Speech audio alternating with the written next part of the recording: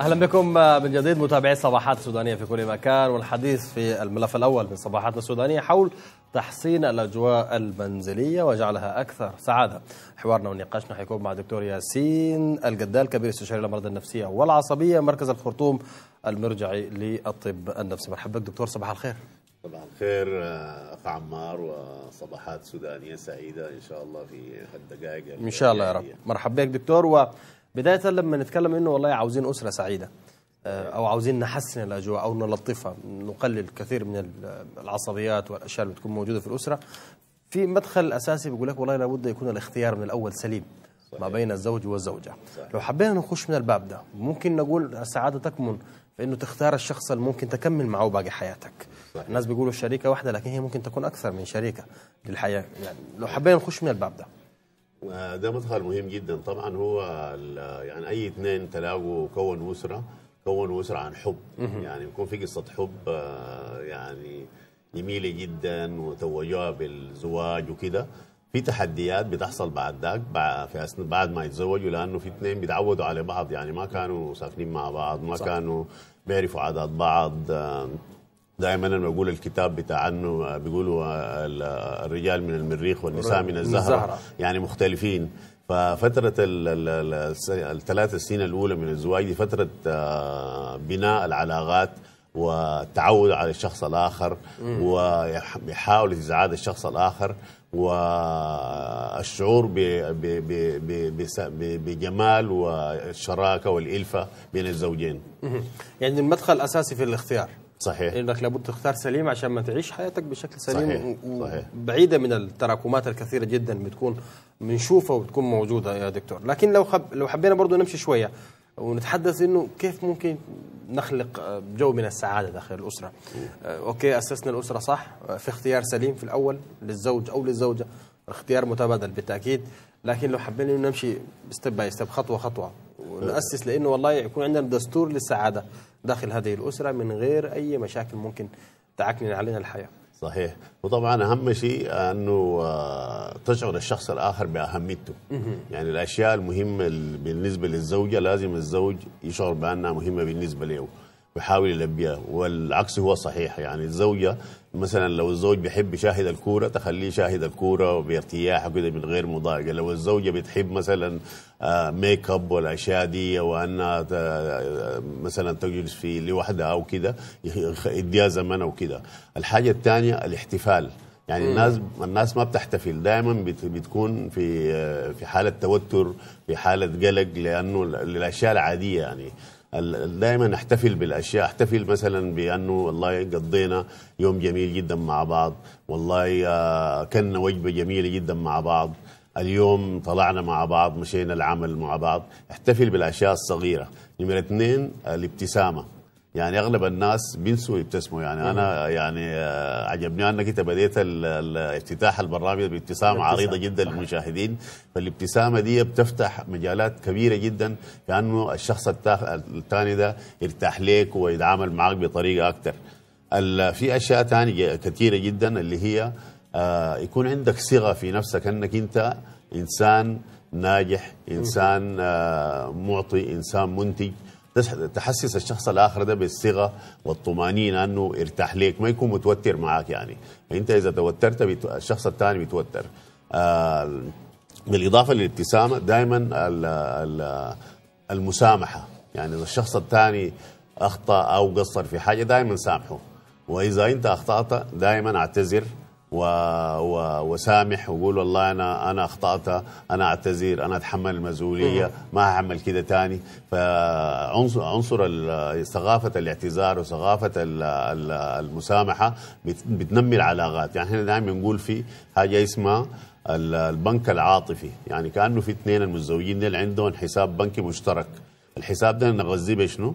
نغذيه بالإطراء نشكر الشخص الآخر نثني عليه نثني على الحاجات اللي بيعملها. والله لابس كويس والله طبخت كويس والله اليوم جيت بدري والله اليوم انت عملتني بطريقة جميلة جدا. كل ما كل ما انت تطري على الشخص الآخر كل ما طيب. زاد معدل البنك العاطفي دي دكتور بيتم تعلمها ولا بتكون مغروزة فينا نحن من نحن صغار؟ لأنه بعد عمر كبير جدا يعني. بيقول لك يا أخي أنا ما بقدر أعتذر لمرتي مثلا. صحيح. ولا هي بتقدر تعتذر له. وهي ممكن تمشي يقول لك عليك الله الراجل ده خليه خلوه كده بجنبها صحيح. بداروا المواضيع كده خلوها مستخبى كلها يعني بدسوها. لكن لما نجي الحته بتاعت إنه الحاجات دي هي المفروض تكون معنا من إحنا صغار مثلا نعلمها لأبنائنا عشان ما نقول للجيل الجاي يكون سليم ولا ممكن تتعلم يعني. ده سؤال مهم جدا. في حاجات ما بنقدر نغيرها. مثلا الحاجات الوراثية. يعني ما حتغير لون لون بشرتك ما حتغير لون عيونك ما صحيح. حتغير لون شعرك. دي كلها انت ورثتها من أمك وأبوك خلاص. لكن في حاجات سهلة جدا ممكن تغيرها تزيد لك السعادة آه، آلاف المرات اللي هي تغير طريقة تفكيرك تغير طريقة سلوكك. تغير أفعالك. مثلا إذا تدي نفسك آه، رسائل إيجابية يعني تكون إيجابي. يعني بدل تكون إنسان سلبي تكون إيجابي. نحن دائما بنقول للناس كون إيجابي لكن ما بنوري كيف يكون إيجابي. الواحد يكون إيجابي أنه كيف يكون إيجابي؟ كيف يكون إيجابي؟ مثلا أنا أصبح أصحى من الصباح أقول الحمد لله أنا الآن بخير الحمد لله أنا بصحة جيدة الحمد لله أنا إنسان محبوب. الحمد لله أنا إنسان عايش وسط عائلتي. الحمد لله أنا إنسان عندي وظيفة. الحمد لله أنا إنسان آه، بصحة جيدة. الحمد لله أنا إنسان ذكي. الحمد لله أنا عندي أهداف. فدي كلها رسائل هنيئا إيجابية. لمن حمد. أيوه. صحيح. دي كلها رسائل إيجابية بتخلي الإنسان يشعر بالطمأنينة وال- والثقة في النفس وبتخليه ينجح لقدام. فكل ما الإنسان دي الحاجات اللي ممكن تغيرها.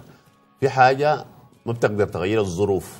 يعني دائما الناس بي بي بيلوموا الظروف. يقول يا أخي ظروفي صعبة يا أخي شوف المواصلات كيف صح أنا بتكلم عن السعادة. يقول لك يا أخي السعادة شنو يا أخي؟ إحنا ظروفنا صعبة. صحيح. وهو ينول الحين نحتفل بها. هي وين الأشياء دي؟ بتكون. هي شماعة طوال. صحيح. فالظروف دي آه، أخ عمار بت بت بي يعني بت بتكون 10% بس من السعادة. الباقي ده كله أنت لو خلتينا ال- ال- الجزء الوراثي على جنب الجانب ده كله أنت ممكن تغيره. تغير طريقة تفكيرك. يعني أنا ممكن أطلع من البيت وأقول يا سلام الليلة يوم جميل جدا. الليلة آه، الرابع من جولاي زي ما بيقولوا احتفال الأمريكان بيوم الوطني. وإحنا نهني الشعب صح. بعيد وط... بعيدهم الوطني. ده يوم احتفال أنا أحتفل كل يوم ما أحت... ما أنتظر العيد ولا ال- المولد ولا أنتظر ال... كل يوم بالنسبة لي يكون احتفال. آه، احتفل بالأشياء الصغيرة جدا. يا سلام شوف الشروق. يا سلام شوف القمر النجوم الأشياء البسيطة دي كل ما تحتفل بها كل ما أنت غزيت في نفسك رسائل إيجابية. صحيح. دي بتديك مش مش مش راحة نفسية وسعادة بتديك راحة جسدية. يعني الإنسان اللي بيكون مرتاح نفسيا ويدي نفسه رسائل إيجابية ما بيمرض لا بتجيه نزلات لا صح بتجيه أو عندنا بالبلدي كده يا دكتور بيقول لك والله الزول ده ما بيتفاعل مع الحاجة ما بيزعل. صحيح. يعني قدر ما حاولت تعكنن وما بيتعكنن لك صحيح. بارد شوية كده يقول لك أيوه. عنده برود إنجليزي ما صحيح. بيشتغل بالحاجة دي كثير جدا. يقول لك النوعية دي لا ضغط لا قلب لا صداع يعني ما بيشتغلوا بالحياة دي. اللي هم ما بيتق- ما بيتقبل الطاقة السلبية اللي بتحاول أنت صحيح. تنثرها حوله. الكلام ده هي مدى من ده, الصحة. ده كلام علمي وصحيح جدا إن هو ال- ال- ده إنسان متصالح مع نفسه. يعني إنسان متصالح مع نفسه ما ينفعل إحنا بنسميه إنسان فعال آه عكس الإنسان الانفعالي. من شيء مرات ما بيستاهل. من شيء ما بيستاهل. يعني بيكون مجهز نفسه يقولون الله أنا في لو, لو في حد آه، خرم في السياره أو ضايقني بس ما يقول الله يسامحه ربنا يهديه ده برا. البيت. أيوة. لكن لو جينا جوا البيت بنلقى إنه دائما والله يقول لك يا أخي آه، يعني لما أي راجع على البيت كده مثلا يقول لك والله ال- المرة دي في البيت خلاص بنشوفها كده الموضوع ده كله. المشكلة بتكتر. وبعدين ثاني يقول لك والله يا أخي النقاشات اللي بتكون ما بين الزوج والزوجة لحد آخر الشارع صوته بيكون طالع. والكلام ثاني برضه يكون في الحتة دي إنه والله لأي مدى النقاشات دي ما بين الزوج والزوجة تقلل من السعادة اللي المفروض إحنا عاوزينها في أسرتنا السودانية. صحيح. دي طبعا تجي لمهارات التواصل بين الزوج والزوجة. يعني دائما ال- المرأة تحتاج يستمعوا لها يعني المرأة في أغلب الأوقات ما عاوزة حلول. عاوزة بس تقعد تستمع. خليها تتكلم تتكلم إن شاء الله تتكلم نص ساعة. بت... وما ت- النصيحة, النصيحة بيتكلموا أكثر من نص ساعة لكن لكن أنت تسمع بس ما عندك حل. وما تدي أي حل. هي بتكون مبسوطة جدا. لكن إذا أنت قفلت منها وقلت لها أنت مشكلتك شنو؟ مش عاوزة توب هاك امشي اشتري توب. بتكون ما مبسوطة. لكن لو خليتها تتكلم تتكلم. تاخذ تفضفض بتكون مرتاحة جدا. عكس الرجل. الرجل ما بحب يتكلم كثير. فنرجو من المرأة تحترم سكوته وتحترم انه مرات بيكون عاوز يكون جالس لوحده كده. بيقولوا بيدخل في الكوخ بتاعه كده يقعد مع نفسه لغاية ما زعله تروح ويجي راجع. دائما نحن نحاول نفرح الشخص الآخر يعني نحتفل معه. يعني مثلا آه، عندك مثلا موعد ال- الوجبة الطعام. يعني دي ده ده وقت جميل جدا. الأسرة تجيب فيه عنصر السعادة والفرح والضحك.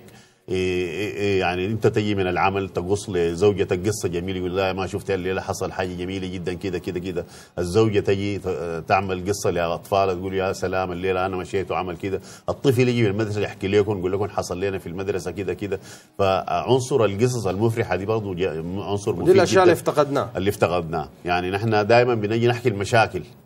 نقول حصل لي وحصل لي وفلان سوى لي وفلان سوى لي. لا نحن ما عاوزين نجيب المشاكل اللي هي طاقة سالبة نجيبها ندخلها البيت. نجيب معانا طاقة إيجابية انه آه، نحكي قصص جميلة جدا. عشان كده الأطفال أنت حتى لو جبت لو شفت طفل عمره سنة طوالي بتضحك تبتسم صح؟ لو شفت لو جو أربع خمسه صحيح. أطفال طوالي بتحاول تحكي لهم قصة بيفرحوا فنحن نرجع تاني نرجع ثقافة القصة في العائلة طيب. نرجع سغ... نرجع ثقافة ال... ال... ال... الاحتفال. الاحتفال بالأشياء صح ولو. شاي لبن بسيط كده ممكن ولو. شاي لبن. صحيح على ذكر القصة اللي انت ذكرتها قبل شوية دكتور يمكن كان في آه، طريقة يابانية في النقاش ما بين الأزواج إنه بتلقى إنه لما يكون في خلاف بيناتهم هم متفقين في الدستور بتاعهم آه، دستور الأسرة صحيح. متفقين عليه وانه يا أخي نكتب مشاكلنا أيوة. ونتبادل الخطابات. صحيح. الطريقة دي في اليابان بيقولوا إنها حلت كثير جدا من من المشاكل. واحد الصوت العالي اللي بيكون ما بين الأزواج. اثنين المشاكل النفسية اللي بتحصل للأطفال لو سمعوا النقاشات دي صحيح. ثلاثة بيكون درجة النفور والابتعاد من بعض. بنلقى إنه بيكتبوا ال- ال- ال- المشكلة الحاصلة أو بيعبر عن رأيه في خطاب وبيطبق الخطاب وبخطه. في مكان. صحيح. وهي نفس الحكاية. تبادل الخطابات. لكن في منتقدين للطريقة دي بيقول لك والله إنه نوعا ما بتعمل جاب شوية. إنه حتى لغة الاستماع بيناتنا بتكون ما في لو حبينا نشوف النموذج ده ونقيم من خلاله برضه وندي نصائح لموضوع النقاشات الزوجية. هي طبعا دي ده نموذج مفيد إحنا ممكن نستفيد منه. آه لكن زي ما ذكرت يعني التواصل ال ال ال ال ال ال يعني ال- الحي مع بعض لأنك أنت الشخص ده الحاجات اللي بتخليه طريقة تفكيره طريقة اللي بنسميها الفيزيولوجي بتاعته يعني الفيزياء بتاعت الجسم تعابير الوجه حركات اليدين ال- العيون الابتسامة إنه جاك قريب زحى منك شوية مربع يدينه فاتح يدينه. دي كلها بتدي عندها تعابير. بتدي عندها تعابير بتخلي اللسان الثاني يقرب لك أكثر وأكثر. فأنا بفتكر إنه بالإضافة لأنه الناس تكتب مشاعرها وأحاسيسها وكده في ناس بيكتبوا بيكون عنده دفتر بس بيكتب فيه مشاعره لكن ما بيديها للشخص الثاني بيكتب والله اليوم أنا عديت يوم جميل جدا والله اليوم أنا في زول ضايقني لكن سامحته. كده بيكتبها ويخدها عشان يفضفض عن نفسه. فأنا ف ف ف لكن اللقاء الحي مع بعض ده مهم جدا. خاصة زي ما قلت يعني ال- ال- الأسرة لازم آه، في اليوم تقعد مع بعض تاكل مع بعض كلهم ال- الزوج والزوجة والأطفال ما يكون أي واحد شايل صحن ويجري على أوضته الناس تقعد مع بعض لأنه هو دي- دي-. دي- أو الواتساب أي زول شغال تلفونه يعني خدت التلفونات دي يعني في ناس يجيب لك سبت كده يقول أي زول خد فيه تلفون ونجي نقعد على ال على ال على الأكل ده من غير تلفونات من غير آه، من غير فتلقى الناس بعد ده بيجوا يتكلموا مع بعض بيجوا يحكوا لبعض بيجوا يستمتعوا ببعض. يعني يا سلام والله دي وجبة جميلة جدا. يا سلام والله لك لك كم يوم ما عملت لنا الطبخة دي. يا سلام والله الليلة أنا مبسوطة منكم أنتم كلكم اكلتوا كويس. فدي كلها أشياء يعني تغذية للشخص الآخر. طيب دكتور في حتة ثانية برضه مهمة جدا. اللي داخل نحن لسه داخل البيت يعني. باستثناء الحياة بتيجي من برا البيت لجوا البيت. صحيح. ننثر السعادة. نلقى إنه في ناس بينصحوا بتغيير ال- الديكور المنزل ذات نفسه ولو بحاجة بسيطة يعني. الكرسي ده لو كان هنا لا غير يجيبه بهنا. صحيح. نلقى إنه في ناس كانوا 20 سنة 15 10 سنين ما في ترابيزه اتحركت من محلها صحيح. الحياة دي مرسومة زي ما هي. صحيح. الأشياء دي لايومتها برضه بتساهم في إنه والله بتنشر لك جو سلبي داخل البيت. بالإضافة لأنه بتحس بكآبه أنت جاي لمكان نفس المكان ذات ذات اليوم. ما في تغيير. صحيح. ده مهم جدا. طبعا التغيير أهم أهم عنصر في السعادة هو التغيير. يعني يقول لك أي حاجة في الدنيا دي ثابتة إلا التغيير. التغيير ده متغير. يعني لازم إحنا نغير في طريقة لبسنا نغير في طريقة معاملتنا نغير في الديكور بتاع البيت. يعني نحول الترابيزة دي من الصالون وديها البرندة. جيب ال- أزرع شجرة هنا. أعمل ولو شلت لوحة مكان لوحه ولو شلت لوحة أو الساعة. أو شيل لوحة مع شيل شيل الساعة شيل الكرسي ده غيره هنا. غير اتجاه السرير. آه في الحياة البسيطة تلقى أنك بتغير يعني بتغير مزاجك آه 180 درجة. حاجة بسيطة جدا. يعني مثلا الزوج لما يجي داخل والله يلقى ال- المرأة عملت غيرت الديكور. يا سلام الليلة في شنو؟ عملت شنو في حاجة جديدة في البيت؟ يقول لك والله غسيل العدة وتغيير الديكور وتحريك السراير دي إلا مع العيد. لا لا. كيف تلقى أول يوم في العيد كيف في جو شوية الناس مختلف. فرحانين. في حاجة كده في صح، تغيير صحيح. صح صح. والعمل الجماعي مثلا خلونا ننظف الحوش كلنا مع بعض الأطفال والمرأة والراجل خلونا ننظف. بعدين اللعب مع بعض خلونا نلعب مع بعض يعني نلعب برا كده في الزوج يعني دائما ينهر الولد. يا ولد امشي العب بعيد عكس. المفروض ال- تعال نلعب قريب. ألعب معاهم ألعب معاهم العب جنبهم وكده. يقول لك لا حتكسر دي ما حتكسر ما حيكسر أي حاجة. فاللعب مع بعض كمجموعة بت- بت- بتقوي الأواصر المودة وال- والرحمة والحب والسعادة بين الناس. عشان ما يكون في حب وسعادة بين الناس برضو لابد نعبر عن مشاعرنا. صحيح. آه، نحن متهمين إنه في السودان والله نوعا ما آه، أو السوداني متهم بشكل كبير جدا إنه حتى المرأة السودانية ما بنعرف نعبر عن مشاعرنا واحد وحتى لو بنعرف بنكون ضنينين جدا في الحتة دي. صحيح. إنه ما نعبر بالمشاعر. تلقى الأم بتقدر تقول لولدها بحبك ولا الولد بيقول لأمه بحبك. في ناس بيقول لك والله يا أخي أنا أمي دي سلام ما أقدر اعيلها في عين صح. بتعابير أخرى قد يكون مقبول لكن لو جينا في الحتة دي ممكن نوعا ما نقول لا. دي بتكسر جزء من الأشياء الكثيرة جدا بنتكلم عنها الآن. إنه الإفصاح عن السعادة داخلك للزول اللي أنت قدامك. وأيضا كذلك هو التعبير بالمشاعر. صحيح. يعني إحنا بنقول في دراسات أثبتت أنه عشان يكون تقويه الحب والمودة وال وال والسعادة بين الزوجة والزوجه لازم الزوج يحضن زوجته ثمانية مرات في اليوم. يعني أنا دائما بقول القصة دي في البرنامج الناس بيقول لي يا دكتور الثمانيه دي ما كثيره شوية. ف... فثمانيه حضنات دي يعني يعني مطلوبة. تحضن زوجتك تحضن ولدك تحضن أخوك تحضن أمك. دي نحن الثقافة كانت عندنا بدينا ننفر منها. آه ال- الكلام يا سلام والله الليلة أنا أنا بحبك أنا أنا افتقدتك أنا كده يعني. فدي مهمة جدا. نحن دائما يعني ربونا نحن والله خاوي السال سيف وشنو كده ما عارف أيوة. وخاوي ما عارف المشحة فيها في في في الشوك ولا شنو ما لا نحن عاوزين إنسان لطيف إنسان رقيق ممكن يحضن ممكن يحب ممكن يقول كلام جميل يكون كلام حلو عشان يغرب بين الناس. ندخل الثقافة دي تاني هسه عندنا أولادنا بدوا القصة دي تبدأ عندهم. يعني بدوا يتعلموها من اليوتيوب يتعلموها من المسلسلات. يعني بدوا يرجعوها تاني. فأنا بفتكر دي حاجة محمدة أنه الناس بدات ترجع تاني لأنه آه، نحضن بعض. حتى نحن السلام السوداني ده فيه حضن صحيح. يعني. فيه آه، فيه مودة فيه رحمة. يعني ما زي الناس اللي بيسلم من اليد من بعيد لبعيد. في ناس لا كده آه. وزي الخاويات هاي هاي كده. أيوة. ما عندنا. فدي يعني دي لأنك أنت حتى أنت لو في ناس يعني الإنسان حتى الإنسان في الصلاة بيحضن نفسه. يعني بيحضن نفسه طوال يخش في مرحلة طمأنينة ومرحلة آه، هدوء وراحة نفسية. آه، فدي بيسموها زي ما إحنا بنسميها انكرنج يعني زي السفينة لما تنزل تنزل في المرسى في حالة بتاعت استقرار فالكلام الجميل آه، يعني مفيد جدا للسعادة الزوجية. الكلام الحلو ال- اتعلموا لو لو ما متعلموا اكتبوا. قولوا والله الليلة أنا همشي أقول أو لزوجتي تستخدم. تقليد معين في إنك تن- تنثر السعادة في المنزل. شوف شنو محتاج إنك شيء تغيره في المنزل وسويه. إحنا عاوزين ناخذ منك نصيحة أخيرة تقولها لكل الأزواج ولكل الناس في كل مكان عشان ما يكون عندنا سعادة وحب ومحبة داخل البيت. ال- ابتسموا لبعض اجلسوا مع بعض ما تستعجلوا سامحوا بعض وأحضنوا بعض. ودائما كونوا في آه، ال- ال- العاي ال- الأسرة تجي اولا ثم الأصدقاء. يعني دائما لازم الواحد بيهتم بأصدقائه أكثر من أسرته لكن الأسرة هي لها الأولوية أكثر من الأصدقاء. أهتم بأسرتك الزوج الزوجة الأطفال بعدين أهتم بأصدقائك. فدي نصائح أنا بفتكر الناس لو اتبعوها هيعيشوا حياة سعيدة جدا ويكونوا في حالة وئام ومودة و... و... ونجاح. شكرا. لأن إحنا أيضا كذلك. نهتم في سودانية 24 لارائكم تتواصلوا معنا عبر الهاشتاج. أطلقناه على الفيسبوك عشان ما نقدر نتعرف برضو على مجموعة من النقاط وآرائكم المختلفة.